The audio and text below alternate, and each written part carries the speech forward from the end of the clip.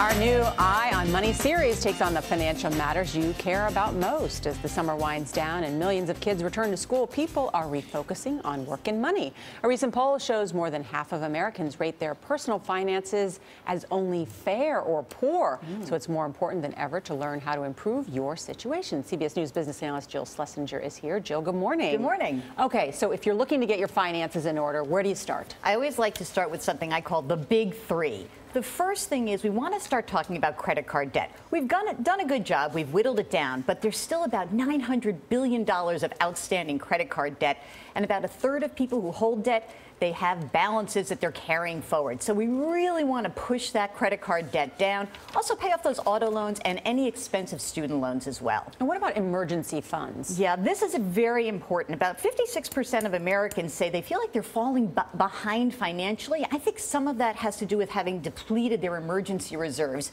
We want people with 6 to 12 months of their living wow. expenses. That's yeah. And wait a second, retirees, I want 12 to 24 months because you have to be able to ride out bad times. The only way you can do Who that. Who can do that, Jill? Well, you know, it's an aspiration. We don't say you have to do it immediately. Kidding, yeah. But that would be, you know, if you think back to the financial crisis, if people had bigger nest eggs, they probably wouldn't have had to go in and plunder through their retirement accounts. Yeah, the interesting thing is that too few people have a budget and take a serious look at retirement.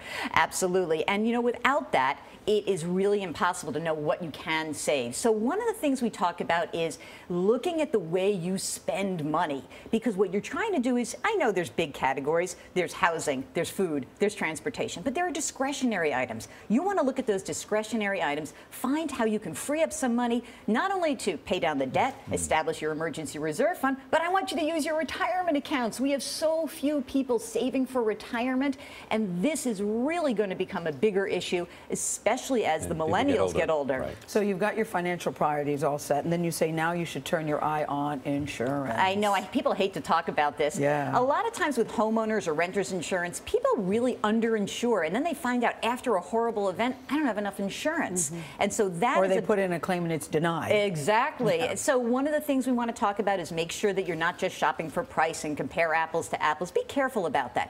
When it comes to life insurance, I have to stress this. So many people are underinsured. We're talking about families who have needs. One of the best things you can do is start with how much insurance that you calculate your need, and you can do that at lifehappens.org. And also, please do your estate planning documents in your last minutes. Please, a will, a guardianship, some powers of attorney, healthcare proxy. Do you have eight hours later today to do